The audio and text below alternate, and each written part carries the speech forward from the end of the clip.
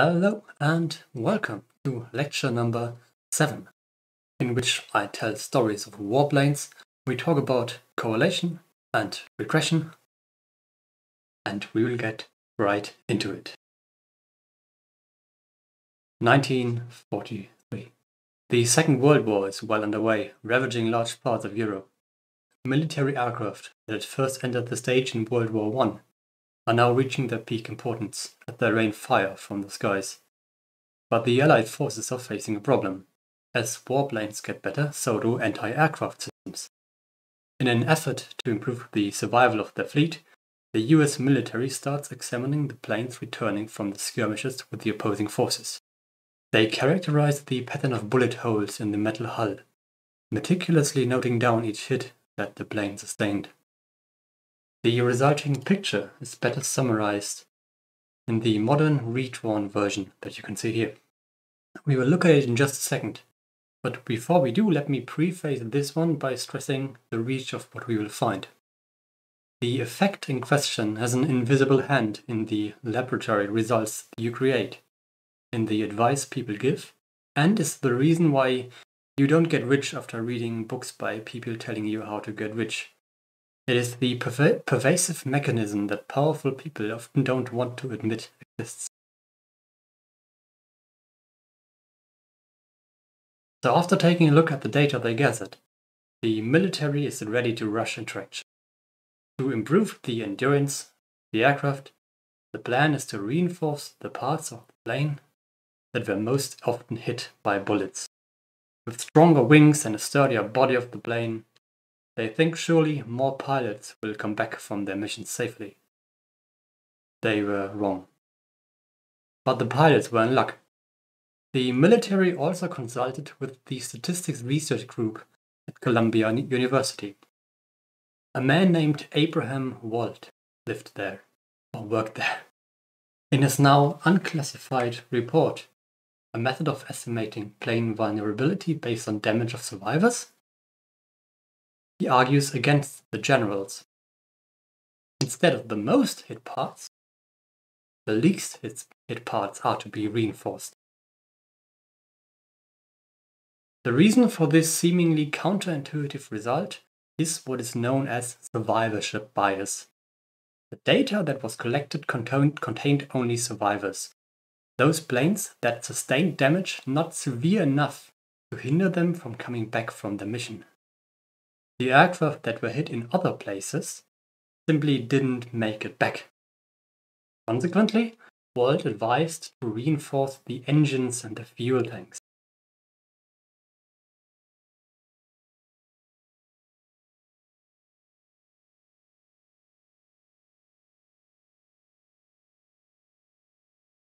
This is but one of a multitude of biases, specifically a selection bias, that will reinforce that will influence the quality of the inferences you can draw from the available data. Keep in mind, data is not objective and never exists in a vacuum. There's always context to consider. The way the data was collected is just one of them. A lot of these ideas seem obvious in hindsight, which incidentally is another bias that social psychologists call hindsight bias, but they can sometimes be hard to spot common saying, for example, is that music was better back in the days, or that all the old music still holds up while the new stuff on the radio just all sounds the same. Well, not quite. This is also survivorship bias at work. All the bad and forgettable songs of the past just faded into oblivion, never to be mentioned again, while the songs people generally agreed to be good survived the ravages of time unscathed. A similar thing happens with success in general, not just songs. If you ask any CEO high up the corporate ladder, a millionaire, or the author of a book that reads How to Get Rich, they are sure to have a witty anecdote about how their persistence or their brilliance or their charisma brought them to where they are now. What we are not seeing is all the people just as witty, just as charismatic, or even just as persistent, that were simply not as lucky very few people will tell you this, because it takes a whole lot of courage to admit that one's success is based on luck and privilege. And to take it back to the scientific context, when you are planning an experiment for the lab, always ask whether the data collection process can in some way be biased towards what you are trying to show. This also extends to social media, so I leave you with this. Weird how every time you see this image on Twitter, it has a ton of retweets. This is also why all the people you follow on Twitter, for example, seem to have more followers than you do. Now, let's jump straight back into R. To ease back into our programming, let's look at some small but helpful things that might otherwise be missed on the sidelines. First up is the glue package. You can install it just like any other package. In CRAN, so the normal install packages or renv install will do. And then we load it using library glue. And glue has basically just one function that is important to us right now. And this function is also called glue. I hope this doesn't confuse you. Let's run this line first. And now I can use glue. In here, we put in some text. Just any text, for example, one plus one. And now every time we have curly braces, whatever happens in these curly braces will be evaluated by R. So if we write 1 plus 1 equals 1 plus 1, we get 1 plus 1 is 2, which uh, is correct. Now if we do the same thing, for example, by creating a variable first, let's say we have some p-value um, 0 0.04, and now we type we have a p-value of and now curly braces and we put a value in here. And maybe an exclamation mark afterwards. And we get this complete sentence. It's a bit nicer than using space we have and then value and then exclamation mark which also works, just more cumbersome right, and this feels more natural. Okay, this was the glue package I wanted to mention, and I will use it today as well. And then there are SVGs, which stands for Scalable Vector Graphics. Um, and I briefly mentioned graphics devices last week, I think. So generally, there are those devices that produce pixel graphics where the information is stored as color values of pixels. And these are called raster, uh, raster devices. A REC, which I showed you last week, provides some of them. When you zoom into a raster image, you can see things getting pixely or blurry. Another way to store information about graphs is to write a mathematical description of the lines and other shapes in the plot, which will then be interpreted by the program with which you open vector graphics. And one of the most popular of those is this scalable vector graphic format. Let's um, create an SVG file ourselves. I'm going to create a plot that I call example. And oh, I don't have the tidyverse loaded yet. Then I will do this in my setup chunk for now, because this means uh, it will automatically be loaded every time I open this document. Quite nice. Um, just keep in mind, if you give someone the, uh, the document, they can't see your setup chunk because it's include false, unless you also have the a download button, for example, for the whole document. Actually, let me include this one now. So instead of HTML document, the normal one, I want code download true. And now if I knit this, which, oh, it shouldn't work, this is not existent. And now if I knit this, and I can already keep typing while I do this, um, we get this little download RMD button here, which enables people to download your source code, and it will be included in the HTML file. It's quite nice. So uh, we wanted to load the tidyverse to get get ggplot tricks to create an example plot. So let's use ggplot on an example dataset that is also included called mtcars. and contains information about the miles per gallon, the cylinders, the displacement, and so forth of some cars. So let's plot the displacement this versus the miles per gallon, which I have no idea how much a mile is in a gallon, but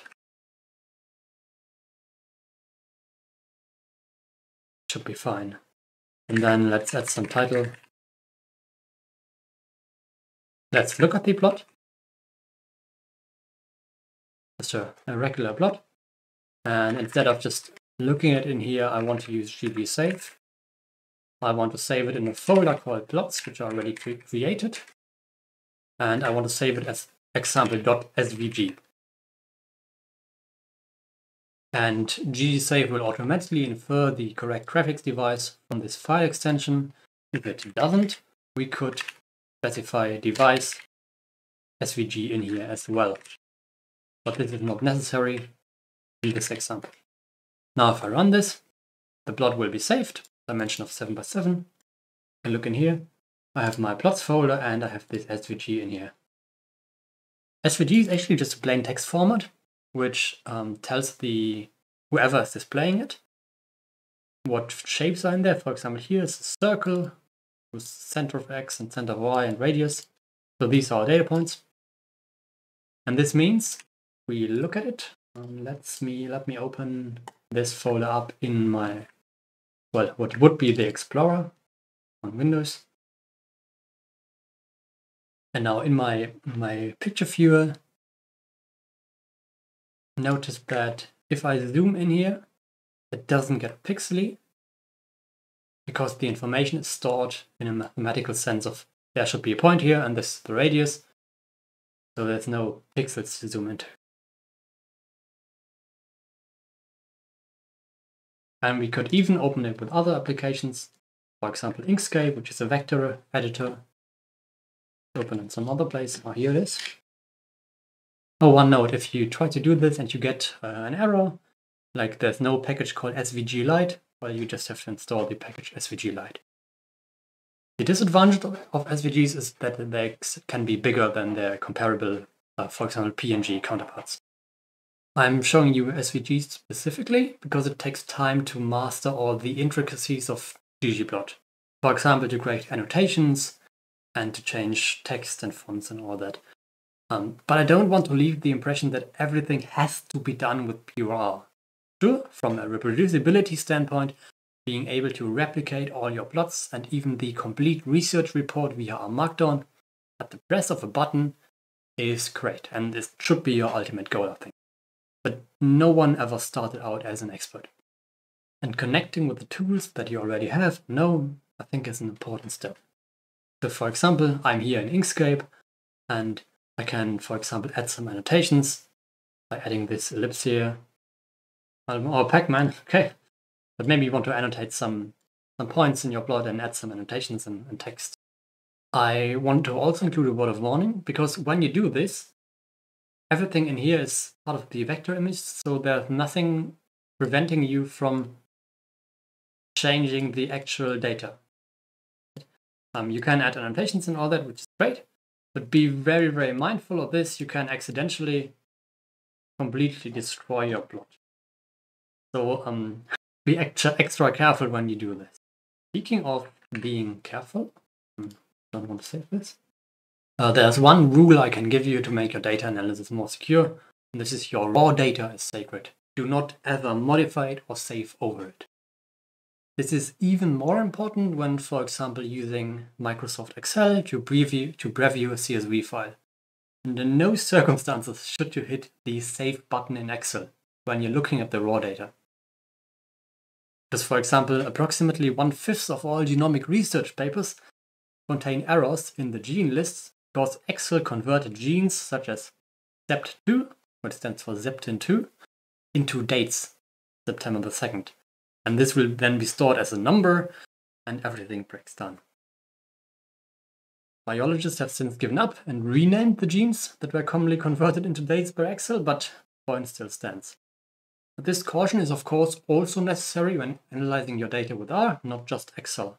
When we read in the raw data and save a processed version, we create a new file or even better, a new folder for it.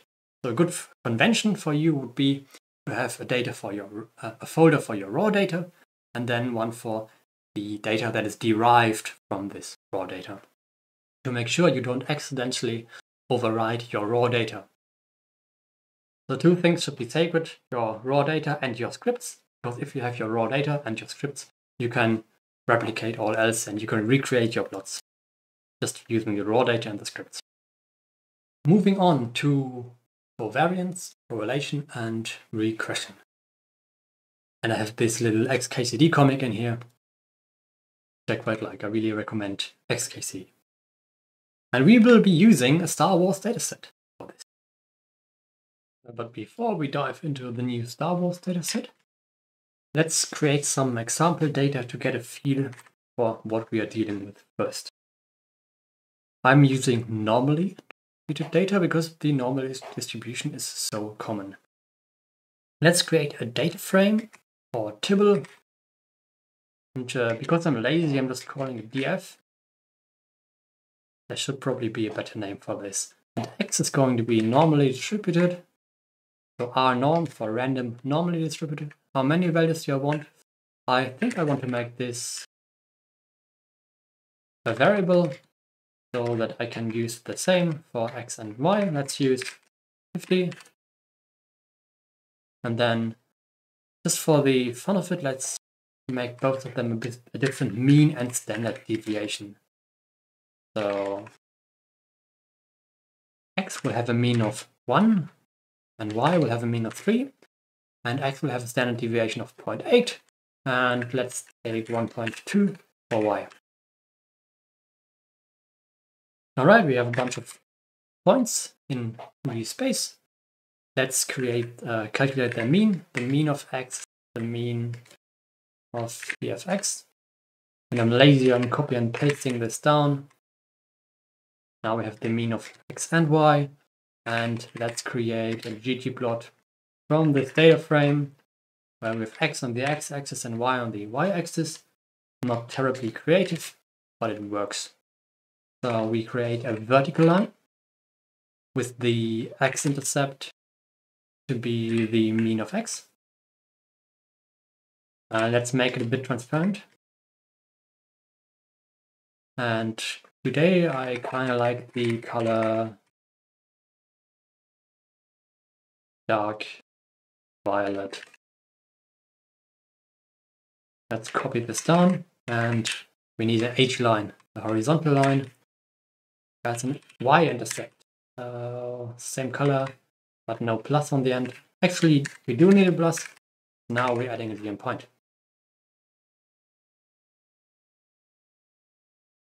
And we have these randomly distributed numbers. Let me move to the slides so I can show you some formula. So last week we talked about the variance, the measure of the spread a random variable. Today we are extending this idea to two random variables, which in today's example are normally distributed. And we get this idea for two random variables x and y, but the covariance by taking the expected value of all differences of x to the expected value of x and y to the expected value of y. Expected value of something in this case is just a fancy way of saying the mean of x, the mean of y, and the mean of all those values. So if we assess the individual contribution of points towards the covariance, we can understand it quite intuitively. Point has a higher x than the mean of x. Here's the mean, so all these points here have a higher x than the mean of x and also a higher y than the mean of y. So this top right quadrant, they will have positive contribution towards the covariance. Likewise, all points in the lower, the bottom left quadrant, they will have negative value here negative value here. And so in total it's positive, so they will contribute contribute positively to the covariance. However, the values in the bottom right, top left corner, they will have negative contributions because one of those will be negative and the other will be positive in these examples. If you have a mix of both positive and negative contributions, the overall mean, so the expected value, will be small absolute value. The covariance is one small problem. It will have very weird units. So x times y. x times y will be the unit of the covariance. And the scale is different depending on the random variables. So we can do what we can do is standardize it by dividing by both standard deviations, uh, denoted by sigma in this formula. And then we get this correlation coefficient, which can assume values between minus 1 and 1.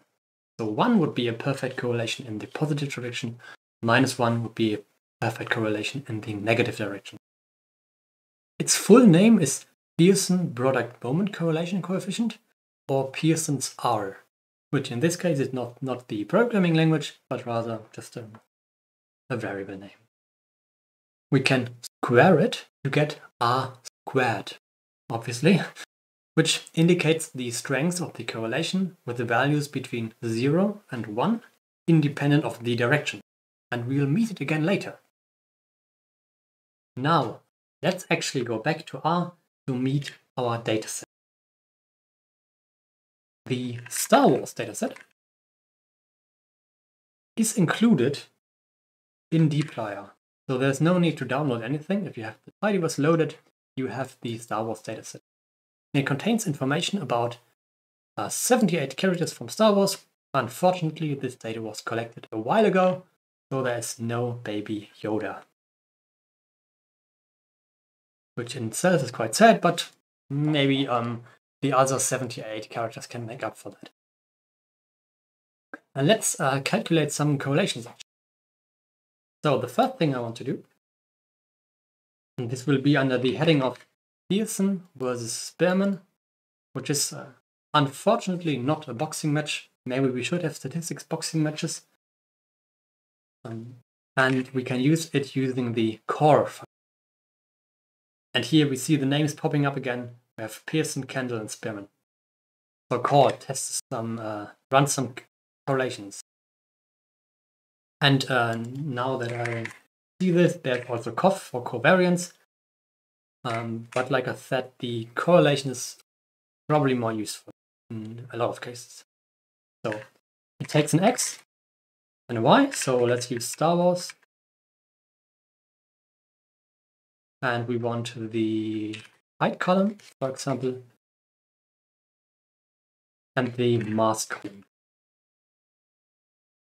At first, this will not work because some of these are NA. Here we go. Mm. Um, Mon Mothma has no mass, so we don't uh, we don't know the mass.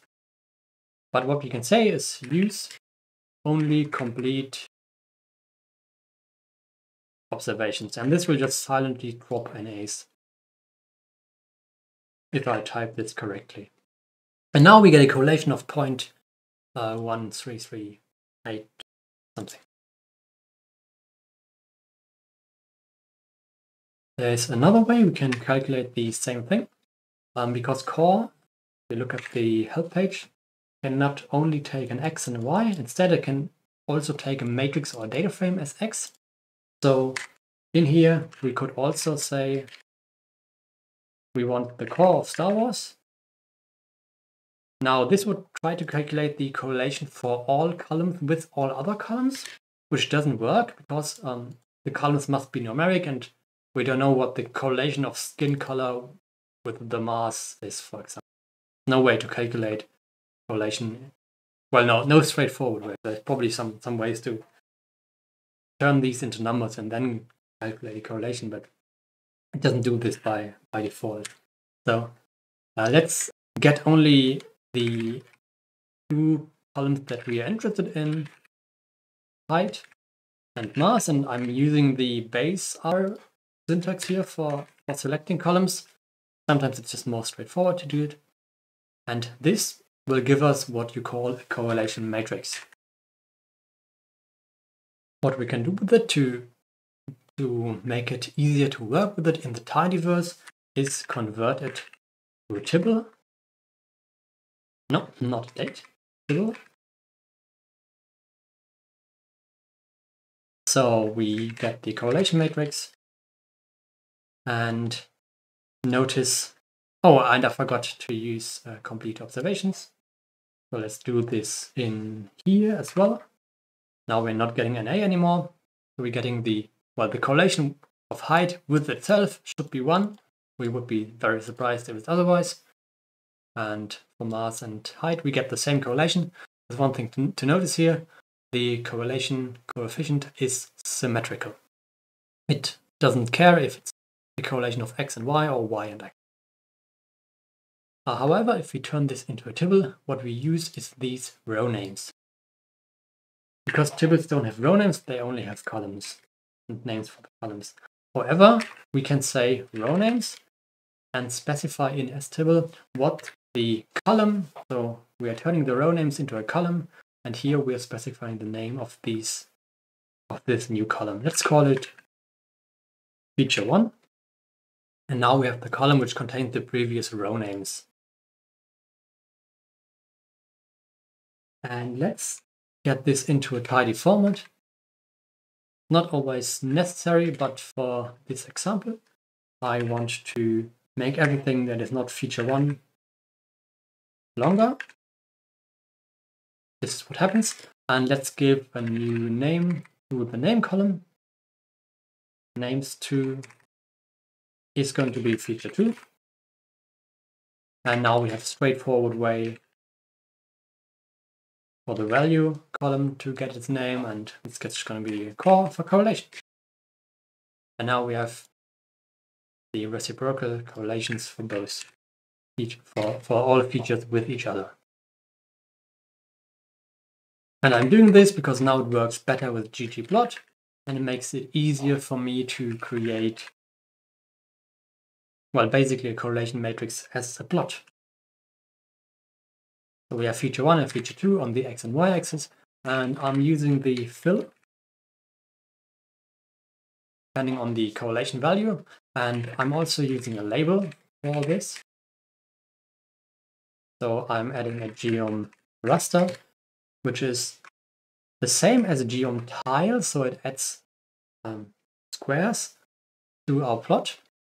However, geom raster is faster when all the tiles are the same size. And I'm using geom text to display the actual values. And oh, let's make this, let's make it white. Now we have our correlation matrix. We can see the actual values. Maybe we would have wanted to round this down. And uh, you can use the color to see correlations quicker. Apart from for, there's also, let's copy this down here. Hmm. There's also cor.test, which gives us more information. We get this, this title that is gives us product moment correlation, not just a number. This is the number down here we got up, up there. Let's save it. We can explore it a bit more. We can get individual elements out there. behaves like a list. We can also use from the Broom package of the Tidy Models framework, which I showed you last week. We used it for the PCA. There's the tidy function, which we also used earlier.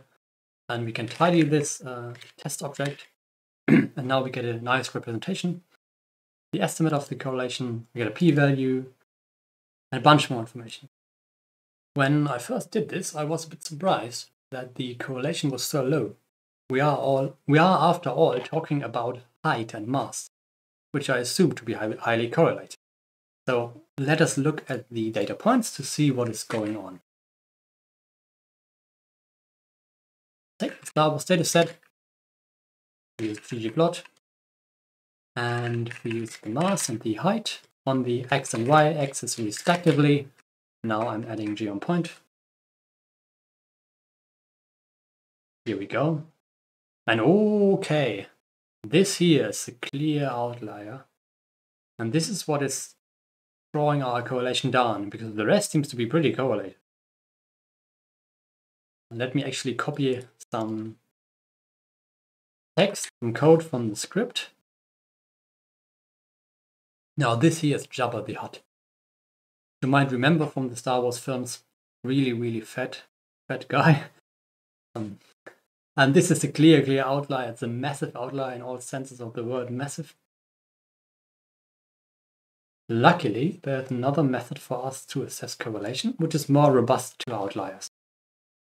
Well, of course, in, in this example, it might be acceptable to remove this outlier because it's clearly part of a different distribution. But I find removing outliers always a bit tricky. And in this case, there's a, a method to compute correlation coefficients which is more robust to outliers. And I am talking about the Spearman method. Let's create the Spearman correlation coefficient. Again, we're using Star Wars, mass and Star Wars height. And now by typing method, Spearman, we're using the Spearman correlation. And we're only using the complete observations. Let's see how high this one is. Much, much higher. Let me copy and paste a bit of code to show you what is happening. So what the Spearman correlation does is instead of using the raw numbers of all the, the points here, is turning them into ranks first. So the rank is if you sort all the numbers, what's their rank or their index. And now we get a much, much higher correlation. So visually, this is what happens. And all these outliers, for example, they don't have as much an effect because they're just the next rank. They're not, um, uh, as in here, a couple of thousand kilograms higher. All right, finally, linear regression is a related concept because both correlation and linear regression quantify the strengths of a linear relationship. However, there are key differences. When we fit a linear model, like y dependent on a plus b times x, there's no error in x. We assume x is something that is fixed, like the temperature we set for an experiment, or the dosage that we used for experiment. And y, on the other hand, is a random variable, in the covariance and correlation of x and y, both x and y are random variables. Just like in here, height um, and mass are both random variables. And this means that while the correlation coefficient and the yeah the correlation coefficient is symmetrical, we could swap these, correlation coefficient would be the same.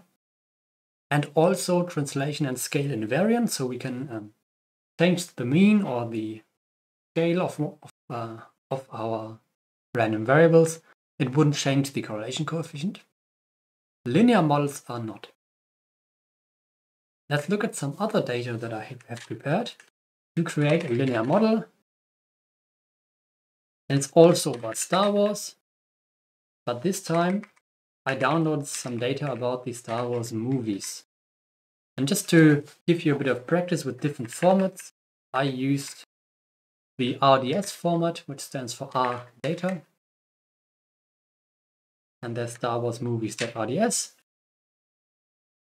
And RDS can be quite handy because it's really fast to load and save. Sometimes faster than CSV file. Because it's, an, it's stored in a format that is native to R, so R knows how to handle it. We can also store dates, for example, easier because we don't have to encode them um, and what I want to look at is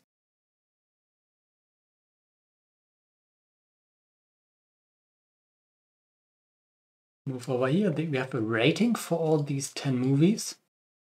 And what we also have is the year the movie was produced or came out. Let's fit a linear model. I will call it model because that seems like a good name for a model. And we want to fit the IMDb rating depending on the year. And as data, I want to get the Star Wars movies dataset. Let's look at our model. And in here we see straight away, this is sort of the rating starts at. And now for every year, for every year, the rating decreases by 0.03. Let's make this more visually appealing. And I will use another function from Broom to augment this model. What Broom Augment does is it takes the data the model originally got while fitting. It has these two variable, variables we use for fitting, and it creates the fitted value and also the residuals, which I'll show you what these are in a second. So let's pipe this to ggplot. And I want to plot the year and the IMDb rating using uh, points. But before that, I want to add the geom smooth using method base lm. So I want to add this linear model. Let's make it a bit transparent. And let's also make it dark violet. And now we're adding the actual data points. Is what our plot currently looks like. And I wanted to show you what these residuals are. So let me add a geom segment. Now I'll copy and paste this because not terribly interesting, but we are adding these little lines, the segment which start at the year and the fitted point and they end at the year still the same, so it's vertical, but they end at the Y position for the actual rating. So these are the residuals, the distances of the line to the actual data points. And they are, in fact, what makes linear regression work. Because its full name is ordinary least squares. And the squares in question are the squares of these residuals. And least, least squares indicates that these are to be minimized. I am yet to encounter extraordinary least squares, but I'm sure someone in machine learning will soon need more words to fuel the hype, and it will become a thing. So this is ordinary least squares. Uh, let's look at our model using Broom again. Tidy, tidy up our model. Here we get the contribution of year. For each new year, lower the expected rating by 0.03 and the intercept at 75. As for, as, at first, this really high intercept seems weird, but this is just what the model would expect to be at the year zero. And the model doesn't know that IMDb ratings can go only up to 10. So you wouldn't try to extrapolate this model to backwards. Just because of common sense telling this is not possible. There's another thing we can look at using the normal R summary function, not to be confused with dplyr summarize. And I still sometimes do this. This is the summary of the model. And in here we see this multiple R squared. And this R squared is the same R squared we would get if we took the correlation of the of the Star Wars movies dataset. Actually, where am I? Yeah. Star Wars movies and IMDb rating. And squared it. So this here is the same value. And the way to interpret this is r squared is the fraction of the variance of the response variable, which in this case, the rating is the response variable. So we have the fraction of the variance, variance in the response variable that can be explained by the predictor x. And in this case, year is our predictor. We are able to explain 40% of the variance of the IMDb rating using the year and the rest is variance from other sources. So far, we only dealt properly with linear relationships, and now it's time to get non-linear. We will be creating a mechanistically driven predictive model. So we have a formula of which we want to adjust the parameters so that it fits our data. And let's take the classical Michaelis-Menten kinetics. There's a dataset for enzyme kinetics included in R as well, it's called Puromycin. And if you look at the help page, you can also find out more about where it is from and the citations. That's it as a tibble. That makes it easier to work with for us. It just prints nice as well. There's a couple of more things I want to do. Because for every concentration, we get the initial rate of the enzymatic. Um, so this is the concentration of uh, the substrate. And then we get the initial velocity of the reaction, of the enzymatic reaction, for treated and untreated cells. So treated with puromycin and then the control. But we have every concentration and state twice, so we have replicates. And let's make this explicit by adding a column for which replicate we are talking about. We group by the concentration and the state. Oops. And then we try to not delete our whole document. And then we mutate. So we add a new column. Uh, let's call it rep for replicate. And this is just going to be 1, 2, n. This function n will always be the size of the group it is in. So 2. However, it's not true in all cases because well, we only have 20, um, 23 rows, so one of those is missing a replica. But it shouldn't bother us too much today. Let's give this a new name. Hmm. Being lazy again, let's call it Puro and create a plot from it we want the concentration and the rate on x and y, and let's color it by the state. And let's add some lines and some points. And there's something weird going on. We are connecting the within the replicates, but we want individual lines per replicates. Maybe we still want the color to be only dependent on the state. So let's set the group of the lines to be a combination of state and rep. Now this is what we get. From our biochemistry studies, we might remember that we can express this relationship through the Michaelis-Menten formula. So the rate is dependent let me actually just turn this into um, a function straight away. So we make rate a function of the concentration, but also of the maximum velocity Vm and the k value, so the Michaelis-Menten constant. Could have also called Km, stick with k for now. So what we do is we take Vmax multiplied by the concentration and then divide by the k times K times the concentration.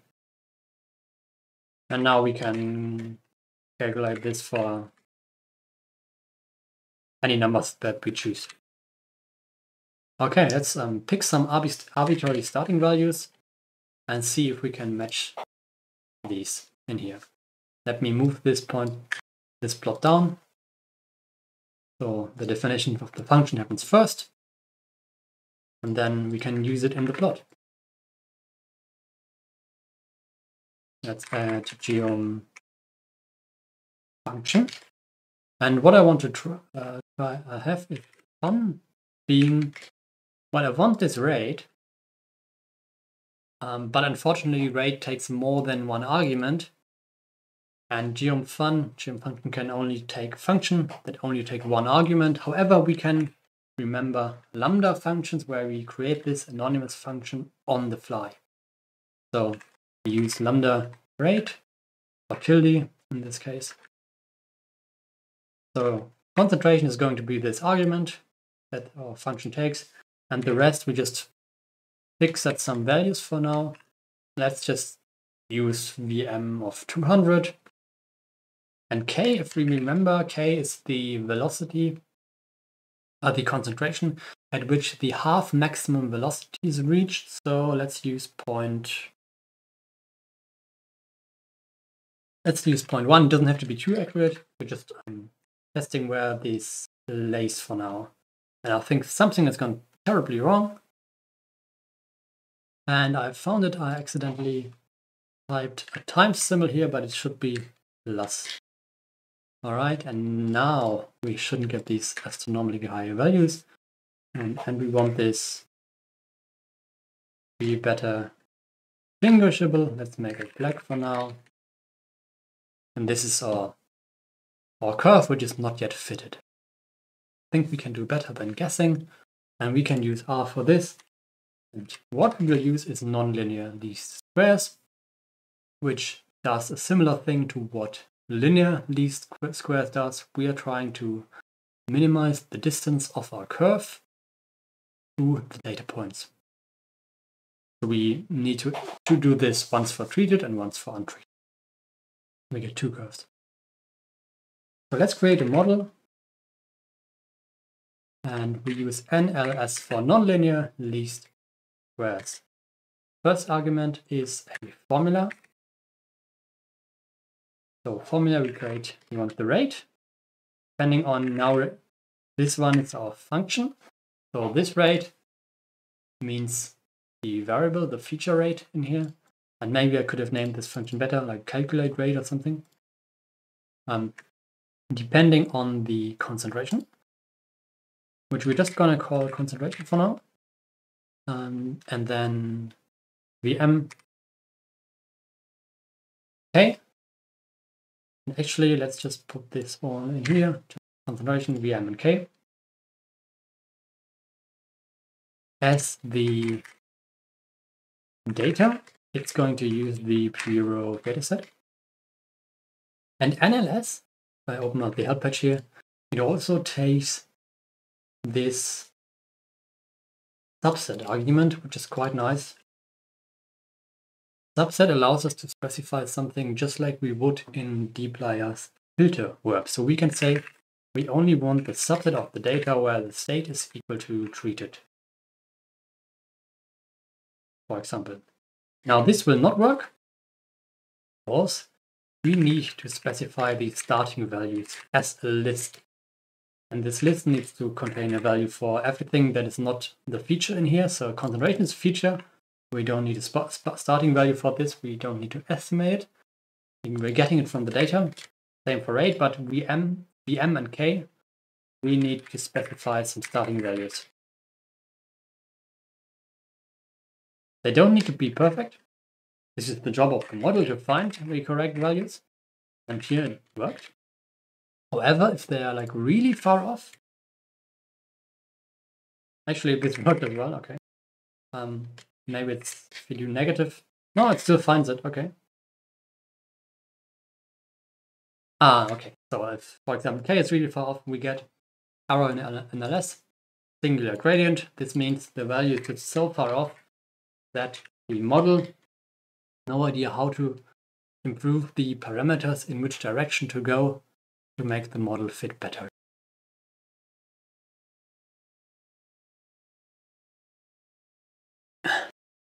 For this special case, I should mention There's also some self-starting models. Um, for Michaelis Men kinetics, they have SSmicmen, which I'm not going into today, but for this you wouldn't have to specify the starting values because it can estimate it from the data. But I think it's much more useful to learn the general case where, can, where we can just fit any function to our data that we want.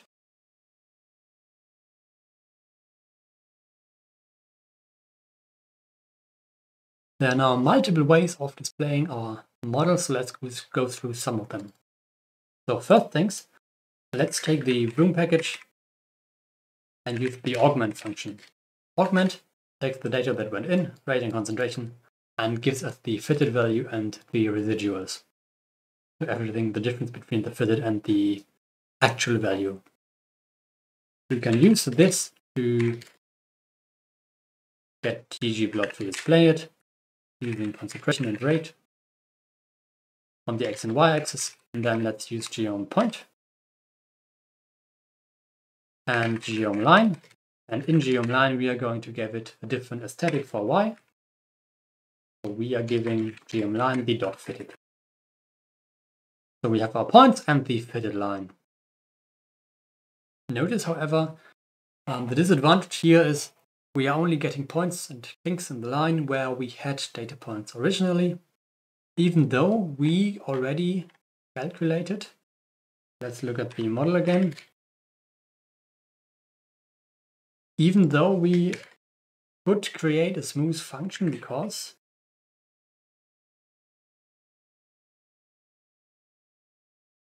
we have these param parameters. We have the estimates for the parameters, so we could just put them into the function and get a, a value for every point that we so please.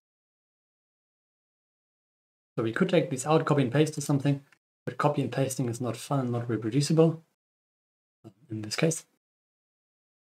So um, let's check out the predict function, which is just from base R. It takes a model. If we don't give it anything else, it gives us the predicted values, which in the Broom version here it was the dot fitted column. We get the predicted values, but we can also give it new data. So we give the list and this list needs to contain the original variables that were used as predictors. So it's counts or concentration. And let's say one, um, zero, for example, or let's use one we get predictions. We can put any number of values in here. So let's do this in a table. Let's call it new, or let's call it predictions.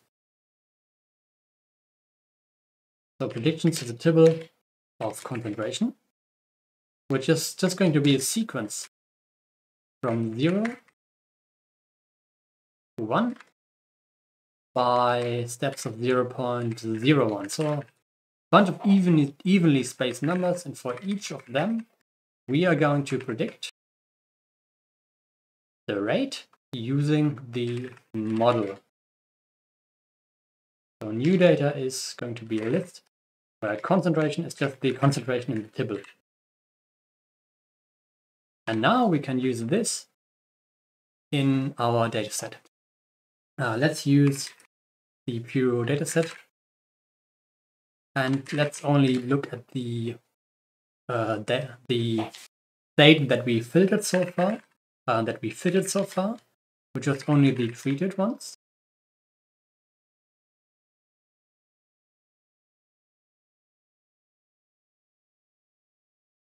So we're using ggplot,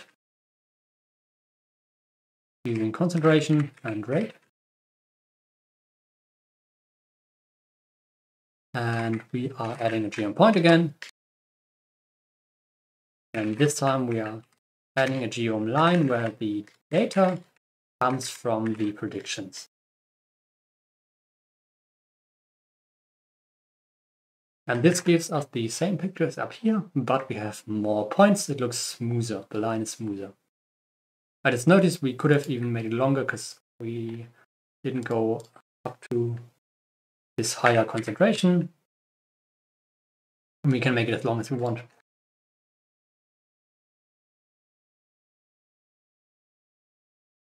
we can also use this in combination with geom function. Let's look at this. Because I think it feels quite natural once you get your head around it. So we're using the Puro dataset, and this time I'm just copy and pasting this part. And instead of adding the line, we're just start with the points. Let's add a geom function. And in here, we are creating a function on the fly using the lambda syntax. And this function is going to be just predict using the model. And as a new data, the new data, the list where concentration is equal to dot x, which uh, will be the concentration. And geom function automatically creates this grid of evenly spaced numbers, which we did manually up here. And then we get a smooth function. And I think this approach feels quite natural. Now, what if we wanted to fit the model for both states, treated and untreated? We can resort back to our trusty purrr package. Let's call it Puro models. And we are doing the same steps we did up there, except we are doing it on both things at the same time. So we are nesting um, by every, nesting everything that is not the state. Actually, let me uncomment this so we can look at it as we go. And now we are running mutate. And we are creating a model, which is going to be, we map the function um, we map over the data and we're using the function that we are creating on the fly, NLS, where we have rate dependent on the rate of concentration, VM and K. Using data, and now data is going to be dot .x, which will be this table in here in both of the two iterations when map goes around. And NLS also needs some starting values. So let's just give it starting values we used earlier as well. now we get two models. Um, we can keep working with those by getting a tidy representation of the models by mapping over the no over the model, not the data. And we're using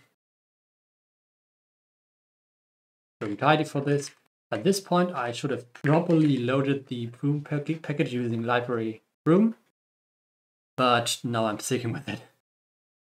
And we can also get a glance of the model. Let's do this. Using Broom glance. And let's save this in this variable, which I prepared up here. We're getting a warning, but it still worked. I might have to figure out this warning later on. But now it's working. And now we can use unnest to look, for example, at the tidy representation. And we get the estimates for the two terms for both states. We can use the same to unnest glance and glance tells us something about how the model performed, but I don't have the time to go into these measures for now. Now we could use the parameters that we got, got from Tidy, these here, to plot the curves now. We could also use the predict function with these models by either pulling them out first um, or running it in in a map function. Um, but there is an easier way for this, and this is just fitting the model straight in ggplot. So let's plot the concentration and the rate again. At this point we have done it quite a lot, so let's quickly write down color depending on the state, and now we add a geom.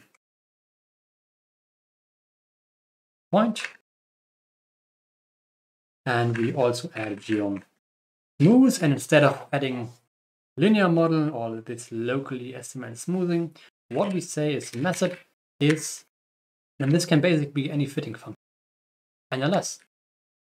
Now we need some more arguments to our fitting function. The formula for fitting function.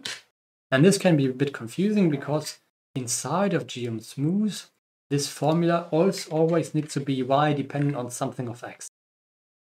Some way we need y on the left side and x on the right side, which is different what we had up here, where we set rate dependent on concentration. So um, in NLS, we talk about the actual features. In geom smooth, we always had, have to call the predicted value y and the predictor x. So let's take this thing and formulate it in terms of y and x. We're using the rate where the concentration x, then we have some Vm and some k.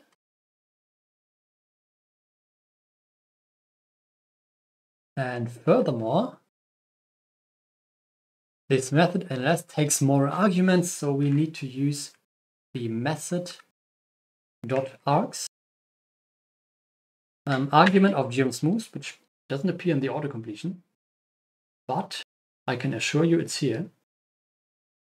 Method args, which is a list of additional arguments passed on to the modeling function defined by a method. So method.args takes a list, and in this list there is start, which is again another list. Where we say VM is, is 200 something, and k 0 0.1 something.